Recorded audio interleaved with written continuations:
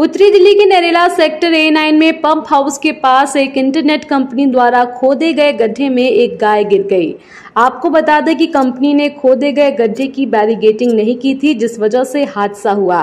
गाय को बचाने के लिए आसपास के स्थानीय लोग इकट्ठा हो गए। स्थानीय निवासी गौरव भारद्वाज ने पुलिस फायर ब्रिगेड गौशाला को फ़ोन किया, इतना ही नहीं, जेसीबी व हेडर भी बुलाया। लगभग ग्रामवासियों की ढाई घंटे की कड़ी मशक्कत के बाद उस गड्ढे से गाय को निकाला गया।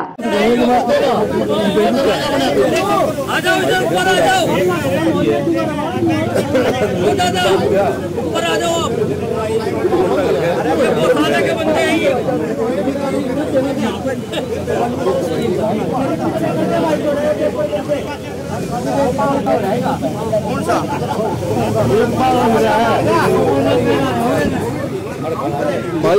दोस्तों, गाय को तो सुरक्षित बाहर निकाल लिया गया है, लेकिन खतरा अभी खत्म नहीं हुआ है।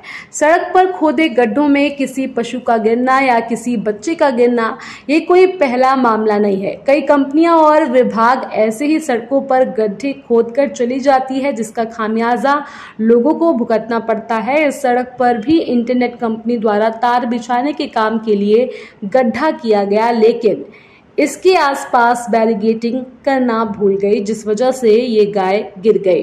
दोस्तों, अक्सर देखा जाता है कि बनी बनाई रोड पर किसी कार्य के लिए गड्ढा तो करा दिया जाता है, लेकिन लोगों की सुरक्षा के लिए कोई इंतज़ाम नहीं किए जाते।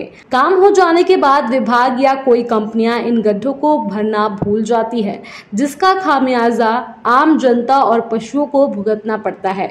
आपका इस मामले को लेकर क्या कहना है? आप हमें कमेंट बॉक्स में कमेंट कर ज़रूर बताएँ और बाकी खबरों के लिए देखते रहिए जनता की आवाज़। जनता की आवाज़ यूट्यूब चैनल को सब्सक्राइब करें, साथ ही बेलाइकन ज़रूर दबाएँ।